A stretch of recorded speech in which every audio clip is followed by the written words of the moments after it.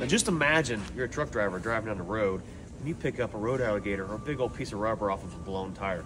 That's what it's gonna do right there to your factory heavy duty radiator.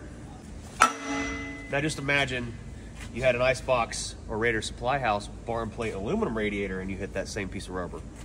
You may have a few little dings in your fins right there, but those plates didn't even show any signs of damage or anything. Look, look at that, guys. You gotta get in here and see that.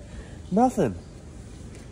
These things are gonna stand the test of time for thousands and thousands upon hundreds of thousands of miles with all the dents and dings you're gonna see of highway use, but these bar and plates are never gonna have those issues that you have with your typical cookie cutter plastic radiators that are coming in your trucks nowadays. On top of having the aluminum radiator and the bar and plate style tubes, your factory radiators have what's called an extruded tube core in here, which flow way less coolant than your bar and plate style. So go to your local dealer or local service shop and ask for an IceBox